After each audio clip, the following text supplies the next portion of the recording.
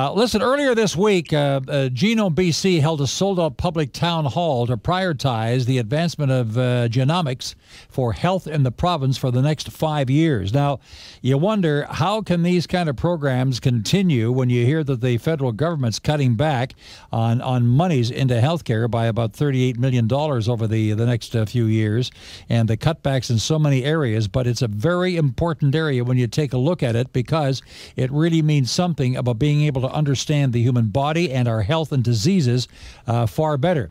Somebody who knows a heck of a lot about this is Brad Popovich. He's the Chief Scientific Officer for Genome BC, and he's uh, joining us on the phone line tonight. Now, I've heard some people uh, say genome, I've heard some people say genome. How do you pronounce it? So, uh, Terry, G- genome. Genome is correct. Genome is correct. All right. So I was right right off the beginning here. How about that? Maybe that's in my DNA. There you go. All right. So pick up on this, uh, Brad. When we talk about the importance of these kind of projects, and and what is it scientifically that you expect to see over the decades as these genome projects continue?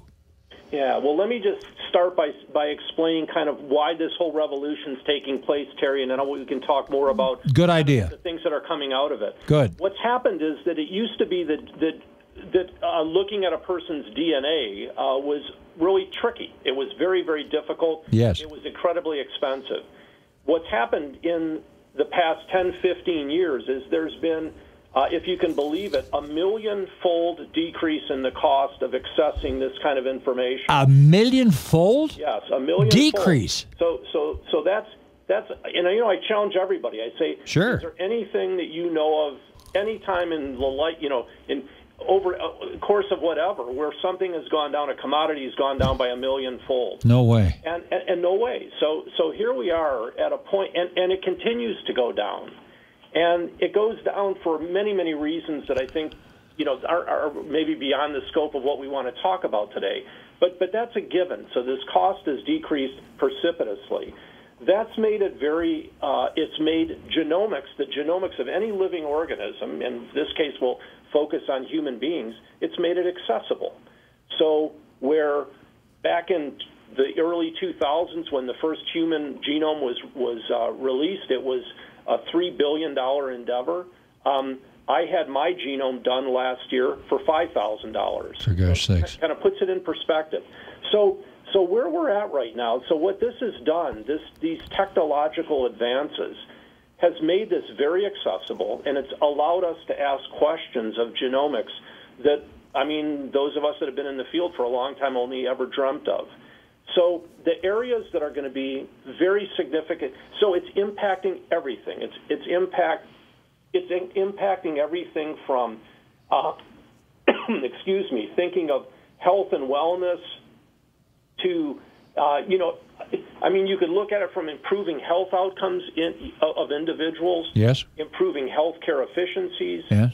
In terms of just economic growth of companies that could benefit by you know, capitalizing on this technology to the scientific discoveries.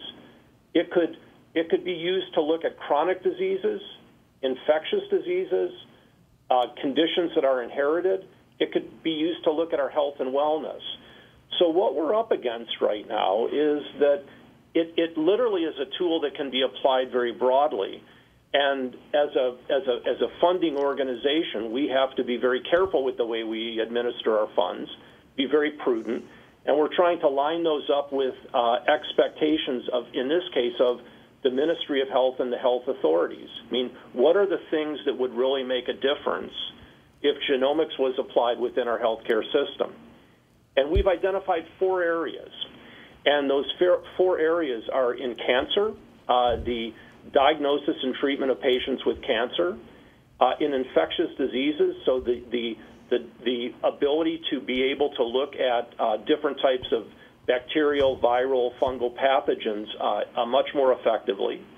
Um, in what I'm calling rare disease, but I'm going to qualify that, um, that rare disease, I mean, it, it really affects about 10% of the population of BC would have something that would be in that basket of rare diseases.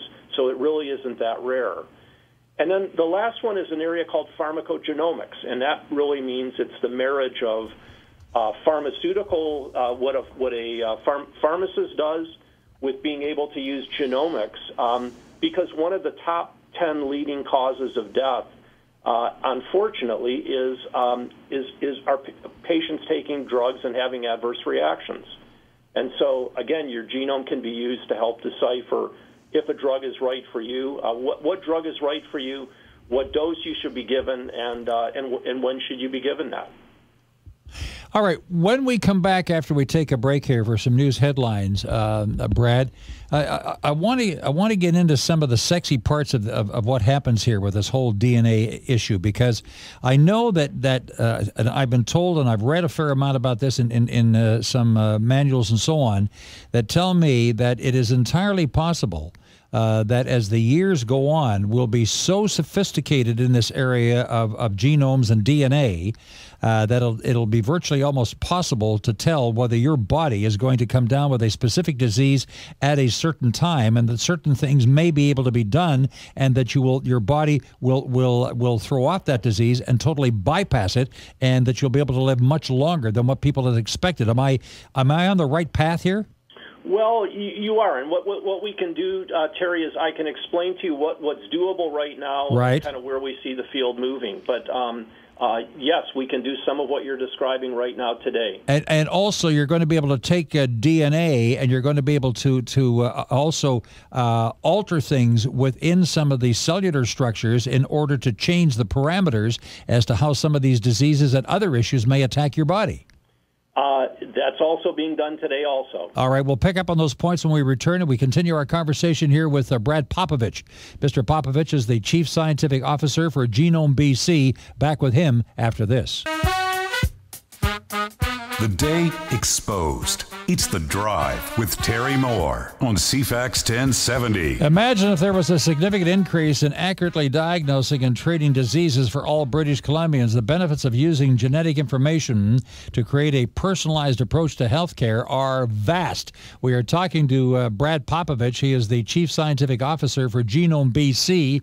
He is joining us on the uh, phone from the uh, lower mainland uh, because earlier this week, the Genome BC held a sold out public town hall to prioritize the advancements of uh, genomics uh, for health in the province for the next five years. He's joining us on the phone line. So uh, let's get, let's get into this. You know, we, we, hear a lot about some of the sexy stuff when it comes to DNA. You know, we, we end up being able to identify a dead king who just got finally buried this week. We figured that we knew who he was. Uh, we know that uh, that we can take uh, some DNA as long as the material is at least reasonable, and you can identify you know a lot of different issues with and and possibly possibly find out, you know, who died when, who they are, and so on. But when we get into this area, and we know how it's used also in, in the area of crime, but when you look at DNA and the DNA evidence that's out there, how far do you see this going as the decades go on? Because it looks to me like it's like it's almost uh, it's almost impossible to stop anything because if you have the knowledge, as, as they say, uh, build it and they will come. Yeah. So so Terry, so let me just step back and say so so if you go back if you dial the clock back maybe 15 20 years even right yeah. now um, what we there was a gene there was a disease a, a disease called Huntington's chorea. I know it. Okay, so yeah. it's fairly rare, but it's a it's a genetic disease. We were able to clone the gene for that, and yes. we were able then to very uh, soon thereafter uh, offer diagnostics to any family member that was at risk. Now, what we were able to do is not only diagnose a person that didn't have symptoms, if they were going to have Huntington's or not, but what we were also able to do um, reasonably accurately is predict when they would get it, if they if they were going to get it, and right. if so, when. And and so so this has been with us for a while. And now that's a genetic disease. When we talk about genomic diseases, it would be more things like cardiovascular disease and trying to predict when a person might have a, a cardiovascular event, a heart attack, for instance. That's possible, though, isn't it? Well, it, it, it, it's possible for genetic forms. Yeah. But for the things that, and, and those genetic forms, in fact, maybe you know, there, there are many people in the BC population that um, carry those genes and, and, and those genes are going to be accessible now because of the Aha. decreasing cost. I got you. So what but, you're but, go ahead. But, yep. but, but for the people with the more complex forms of you know high blood pressure and so on that okay. might lead to heart attack. Yeah, yeah, yeah. Those are things that it's going to require a large group of, of, of people to undergo genomic testing and to allow their in other words, the research group that it's going to take to actually be able to power our ability to, to, to pinpoint, pinpoint those subtle things, um, it's going to require hundreds of thousands of people to do this. Right. So it's only a matter of time until that gets done because you're right. You can't stop this now.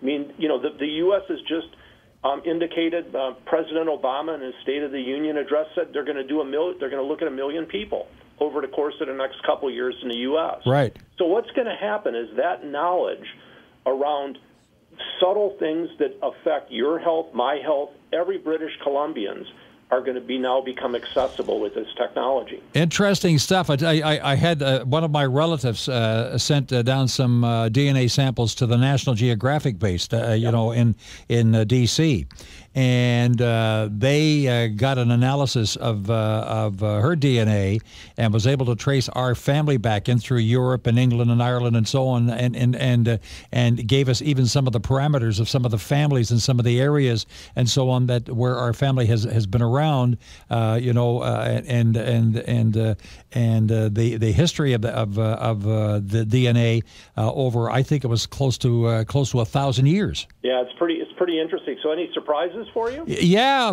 some really interesting surprises. I won't go into them on the air because I, I don't want people to say, "Well, there he is," you know. Uh, but uh, and I'm not going to say that I'm going to inherit the throne of of uh, the Habsburgs or anything like that. But I got to tell you, it's it's very interesting to see the trail coming out of all the different areas of Europe and, and Africa and so on as the as the centuries have gone on. Now, when you got your DNA uh, uh, analyzed, uh, you said five thousand dollars. We didn't spend anything like that. But what was it that you learn from your DNA? Well, so my, you know, your your blueprint of DNA is three billion units long. Yes. And I've learned my entire blueprint. I've gotten wow. a report back on that three billion. So I've been completely decoded, if you will, and um, and that was done in a clinical laboratory. So what I received back is a clinical report. Yeah. That tells me of the things that I'm carrying and the things that might ail me at some point in the future. And um, and and and then there's a whole bunch of things that it says that you know until more people uh, participate in a similar type of study, we're not really going to be able to have any certainty around many other conditions that are part of that analysis. Is it possible? And I don't know this, but I've, I've heard this, and I, will find out from you, Brad. Is it possible that an individual, if they so cho- uh, chose to do it, uh, that you you can you can get your DNA analyzed to the point where they can almost put a timeline down to a very short period of time, like within months, as to when uh, you may buy the farm. No, so that's not possible, and um, we're a long way from that. There are things that one can look at in your your genome. Uh, uh, they're the tips of what's called your chromosomes. Yeah, and uh, they're called telomeres.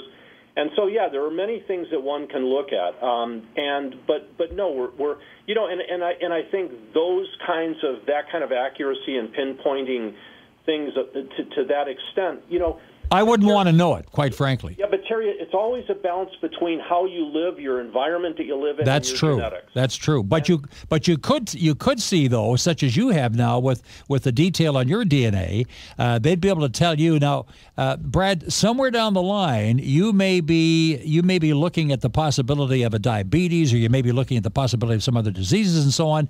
But here's what you can do to bypass that, because we've got enough timeline on this, and we know enough about it that you can take steps now to avoid it. Well, that that's the whole concept of, of looking at yeah. this material. That's what got me into this field, you know, 30, 30 plus years ago, and and it's what drives me, you know, every day to get up and come to work.